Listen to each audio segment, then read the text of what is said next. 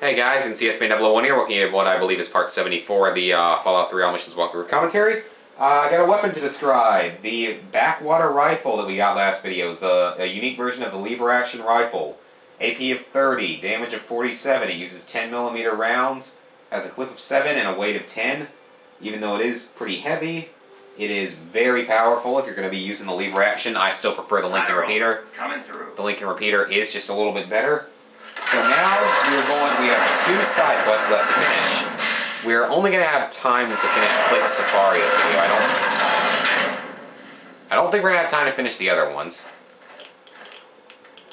So he basically breeds ghouls so that people can then fight them. Uh, don't fall off, or I don't. I don't think you can get back up. So you're number three. Well, let's Mr. get Plik's this really outdone himself this time. And we're here with a couple of other ghoul. Well, not ghouls, actually. Uh, friendly guys. Look at the Chinese assault rifle. It's now doing 86 damage. And it's not even maxed out or at full condition yet. Yeah. So, when you are ready, hit the button. We are ready. You, you would be wise to set down some mines. I'm not going to do that because I don't feel like wasting the time on it.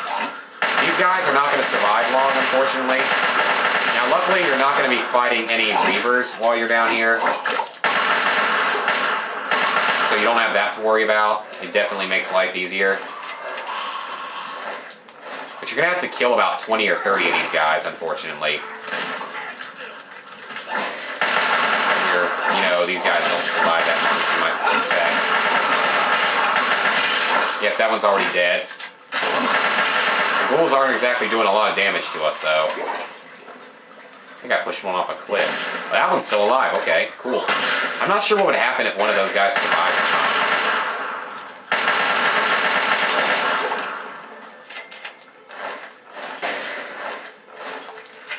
I've never, I haven't had one of them. I haven't had one of them survive before, so I doubt they will.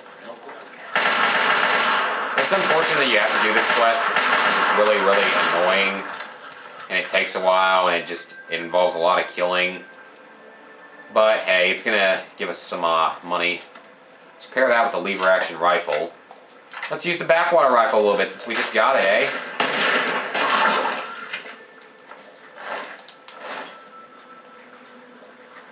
If this guy somehow manages to survive, I'm definitely gonna let him live. I mean, I'm not gonna kill him or anything. Like I did to Desmond. Desmond's a ghoul. This guy's a human. Humans are superior. Or we're supposed to... I don't want to hit his arm.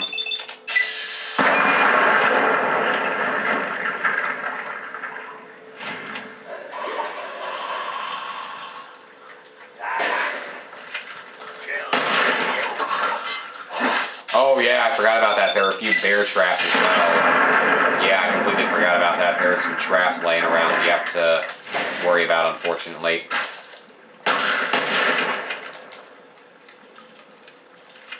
Is that it? Really? Guess that's it. That was that did not take as long as it did last time. I swear that was that was a lot faster. Oh no, that's not it. Hey. What did you see I'll another? find you. Climb this path. Okay. Lions help if you got 'em. And You're welcome, by the way. You know, for saving your ass. yeah, because you really did a lot in that, didn't you?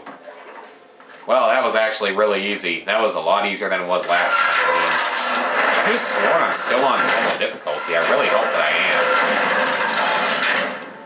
I should be. Yeah, I'm still on normal difficulty. That's weird. That was a lot easier. Tremendous. Let's commemorate your.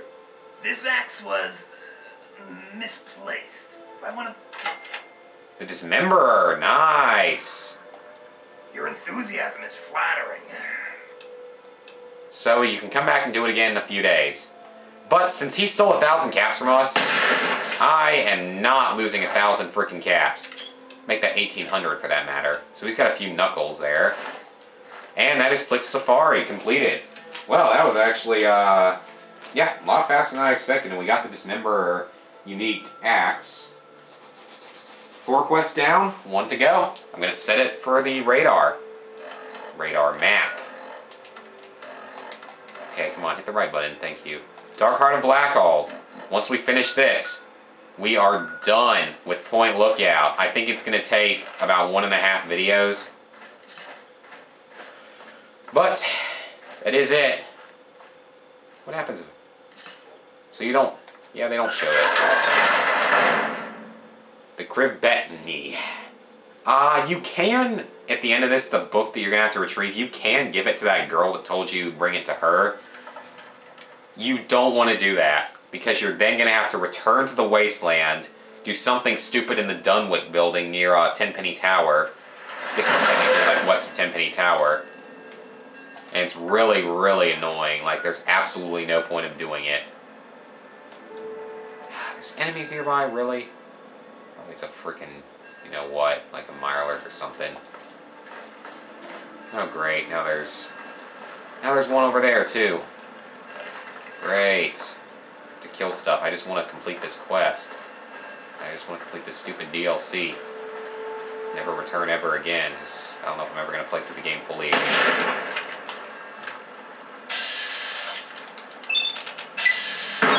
Ooh, face shot.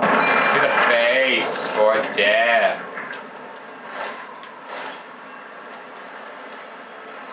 Uh, let's see. Let's just head over to the House of Wares. Maybe make a few caps off crap that I found. Okay, got about eight minutes left in the video. I wonder if I can get through there fast enough. Because you have to kill a lot of enemies down there. And they're the really annoying brawler, trawler type enemies that take forever to kill. But once we complete that, we just have to get back to the boat landing, and then we're done. Well, actually, we'll have to go back and give the book to him, then we'll be pretty much done.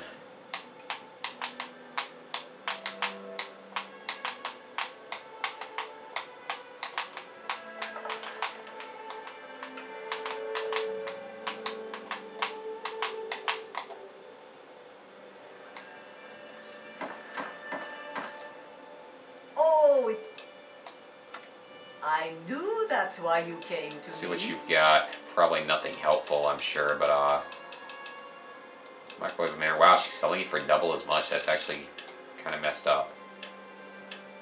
I don't. Think, I didn't think she was gonna have anything, but I do want to sell some of my stuff. I'm just gonna keep the uh, dismemberer in my inventory for the moment, just so I can remember to get rid of it, or just so I can remember to give it stats.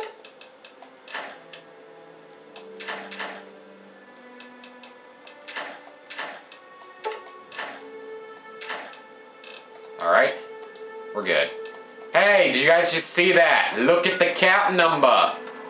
Five digits, 10,026 caps. Not too shabby. Eh, it's only 10,000 though. I would kind of, I would like to hit 20,000 by the end of this walkthrough, and I think that's definitely possible. I would love to hit 20,000 by the end of the walkthrough. I don't know if I will, but I guess we'll see.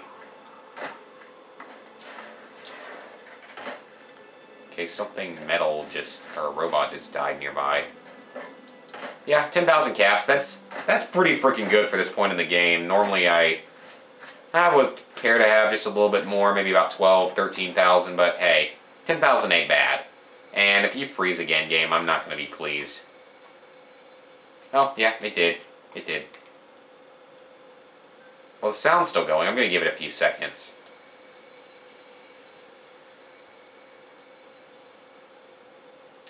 It's clear that tonight is one of those nights the game's just going to freeze multiple times on me because this is it's being recorded in the same session as that first freeze was. So, yeah, looks like we're getting another freeze. Well, that's unfortunate, guys. I was really hoping that wouldn't happen, but at least it happened around 10 minutes into the video. So, uh, but since that's going on, I might as well just go on and use this time to talk about the uh, other weapon that we found. That would be the uh, Dismemberer. It is a unique version of the axe with an AP of 30. It, the killing blow can sometimes restore 5 AP. It does a damage of 25 and has a weight of 6. And it's not bad if you, you know, use melee weapons, which I don't. So, anyway, uh, guess that's gonna be it for this video, guys. Unfortunately, so it looks like. But next video should be the last video of Point Lookout. So, I will see you guys then for the end of Point Lookout, hopefully.